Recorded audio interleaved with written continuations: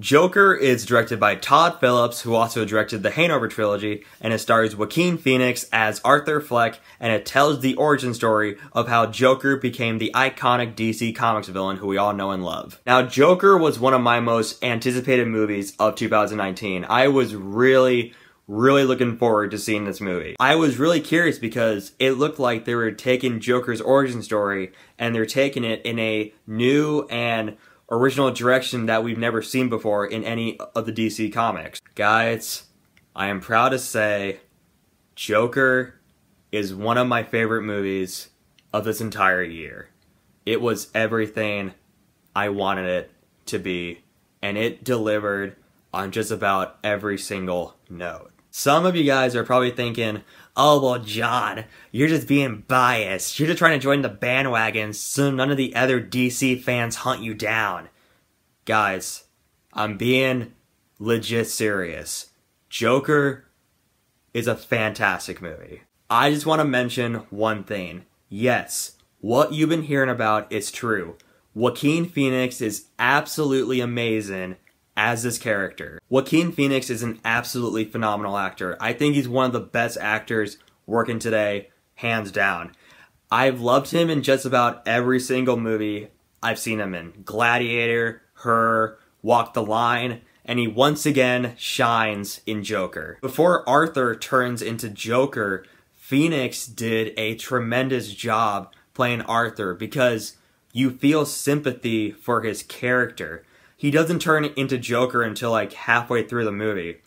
But the thing is, without going into spoilers, when he transforms into Joker, he doesn't just wake up one day and go, "Oh, I'm a psychopath now. I'm just gonna kill people." No, you see him progress into turning into this character. You're, he's basically just spinning around in a whirlpool of madness.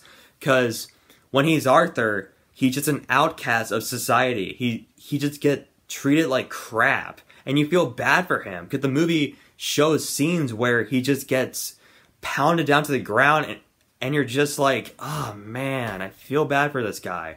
But of course, when he turns into Joker, you're just like, oh wow, I don't feel any more sympathy for this guy. Also, the movie is incredibly well made and well shot. I really liked how Joker depicted Gotham City because the way Joker depicts Gotham is is shown as this depressing and dreary and like crime ridden city. Well, technically, Gotham is all those things, but Joker presented it in a way that I thought was really unique and it really stood out. You can also tell that Joker took inspiration from Martin Scorsese's earlier movies, like specifically Taxi Driver and The King of Comedy. But what I really liked about Joker was it did its own thing. It didn't feel like a ripoff of Scorsese. It's not like you're watching it and you're just like, oh, this is basically recycled Martin Scorsese. No. Joker does its own thing. It has winks and nods to Taxi Driver and The King of Comedy, but for the most part, it does its own thing. And speaking of Scorsese, Robert De Niro is also in this movie, and he basically plays this talk show host of this late night Gotham City talk show. And he's barely in it. He's not in it for that much, but when he's in it, De Niro gives the best performance I've seen him in in quite a long time. One of the most unique parts about Joker I thought was I really liked that while it is technically a superhero movie, it doesn't feel like an all around superhero movie. It feels like a character driven piece of this mentally ill, depressed guy. We're at a point now where Hollywood is just basically shoving superhero movies down our throats. And while most of them have been really good, like for example, like the MCU movies, I enjoyed the MCU movies, but I feel like Joker is the defining superhero movie of recent memory because it doesn't feel like one. It feels like its own thing.